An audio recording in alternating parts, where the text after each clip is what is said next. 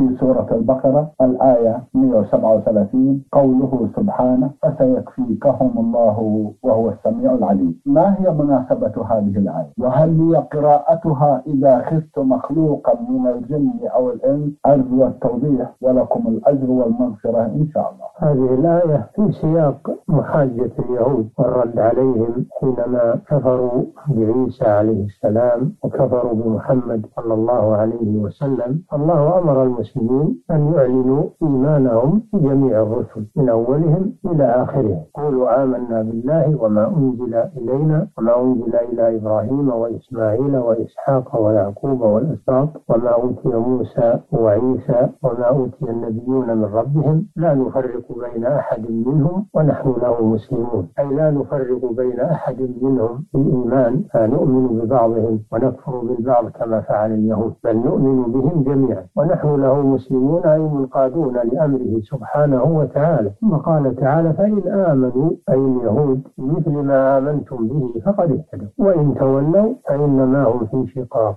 فسيكفيكهم الله وهو السميع العليم. لأنهم يدعون أنهم مؤمنون مع أنهم يكفرون ببعض الرسل. وهذا من التناقض العجيب. إذ الإيمان لا يصح إلا بشروط وأركان منها الإيمان بالرسل عليهم الصلاة والسلام. فدعوى الإيمان مع الكفر ببعض الرسل هذه دعوة باطلة.